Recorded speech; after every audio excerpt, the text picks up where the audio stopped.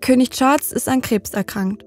Vor wenigen Wochen unterzieht sich der Monarch einer OP an der Prostata. Dabei stellen die Ärzte eine Form von Krebs fest. Das bestätigt der Buckingham Palace am Montag.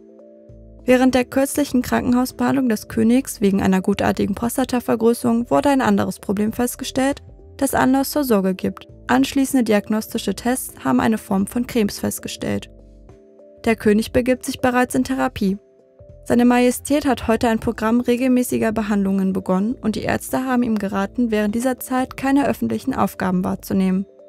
Unterstützung bekommt das royale Oberhaupt in dieser schweren Zeit von seiner Familie. Prinz Harry reist extra aus den USA zu seinem Vater nach Großbritannien. Auch seine Frau Camilla steht dem König bei seinen Behandlungen zur Seite. Trotz der Diagnose bleibt Charles optimistisch und freut sich, seinen Aufgaben wieder nachzugehen.